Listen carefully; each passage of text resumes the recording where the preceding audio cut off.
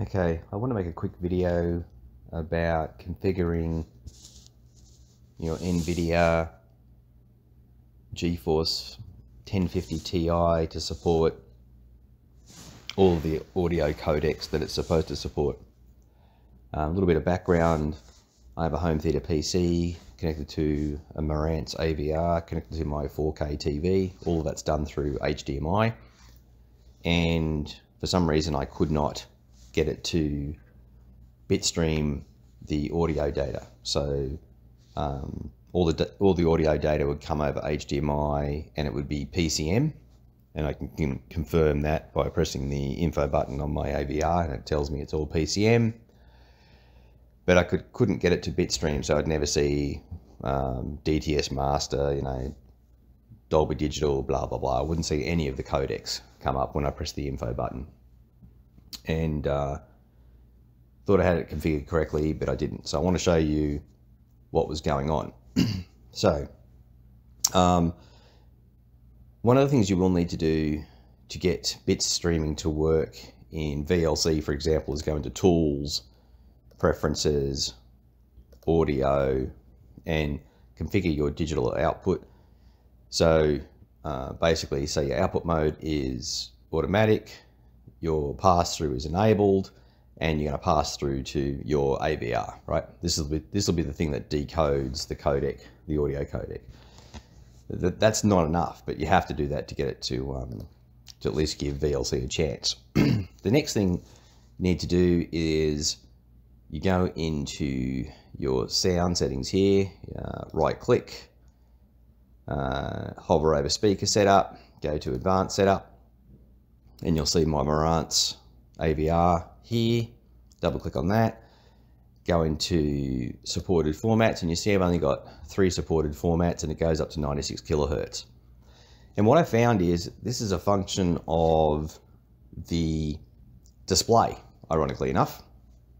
And so what happens is I'm running the display at too high a resolution. I thought the 4K display should be 4096 by whatever it is. Um, but the reality is most 4K TVs are actually 3840. Um, and I'll show you what I mean by that. So if I cancel this, I'm going to go into my uh, NVIDIA control panel, which is right here. Double click on that. And what you'll see is the display is set to I think 4096 by 2160. Yep, there you go. And I thought that was the right um, configuration for my television. It's not all, pretty much all consumer 4K TVs sold here in North America are 3840 by 2160. I should have got the hint where it says native, but I didn't. Um, anyway, if I select this and say apply, I'm not losing anything because that's the actual resolution of my television. And now, um, if I go back into my AVR, you'll see that my supported formats has improved. Now I've got all the supported formats right up to 192 kilohertz. So that's step number one to get um, all your uh, codecs supported. Step number two is you have to go into here and make sure that you run this in exclusive mode, and I'll show you why. If you don't run it in exclusive mode, all you get out of the 1050 Ti, all it will do is um, uh, stream PCM. It will not stream, uh, or it will not bitstream.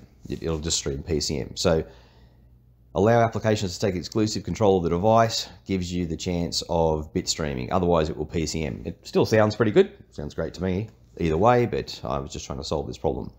So you do that, you say okay, and then VLC and the rest of the applications will run um, properly and they will uh, bitstream the data. Uh, to configure Kodi, it's slightly different. Let's go into Kodi real quick. If we go into Kodi and I go into settings, system, I click on audio, you see that I've got the Windows Audio Session API set up and I've connected it to my Marantz AVR and then if I go to pass through you can see I've got the same setup here. And this works perfectly I can tell you right now. It works perfectly and it will pass through all of the um, uh, audio containers to my AVR and the AVR will then um, show that it's Dolby Digital or True HD or whatever. So that's how you can enable bit streaming. But watch what happens if I change one of the settings and turn off exclusive mode because it's, it's pretty interesting. So if I go back out here, go into my, uh, go back here, I'm going to go into my advanced setup, double click on that, go into advanced, I'm going to turn off exclusive mode. Now what happens if I go into Kodi, you will see that I cannot select the Windows Audio Session API. All I can select is direct sound. So go into System, Audio, Direct Sound. And you can see I can select the HDMI port, but it's it, the, the HDMI out, uh, interface, but it all has to be direct sound. And that has a number of different implications. So I can go down to pass through, hit uh, direct sound, hit the Marantz thing, and it'll still work, but it will now only pump out PCM. So again, if I want to go and change that, then um, I go back in back in here and, and turn on exclusive mode. And by the way, this does it for the whole system. So it doesn't matter what player you have. If you turn off exclusive mode, it looks like it will only stream PCM. So um, even though I configured VLC, to do pass through, it will it will not. It will only um, uh, pump out PCM. So anyway, the way to fix it: go into advanced, hit allow applications to take exclusive mode, apply, okie dokie, okie dokie.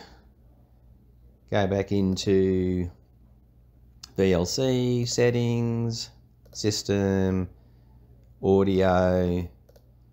Select the um, Windows Audio Session API HDMI. We'll do the same down here. You can see if I go to pass, oops, pass through. And now I change it to the Windows Audio Session API. I've got a bunch more items that um, light up in pass through. So um, yeah, hopefully this helps. This should get you to be able to bitstream or decide to whether you want to bitstream or whether you want to uh, just pump out PCM. And um, the lowering of the video resolution will also help you uh, enable all the audio codecs that your card should support. So anyway, um, hope it helps and good luck.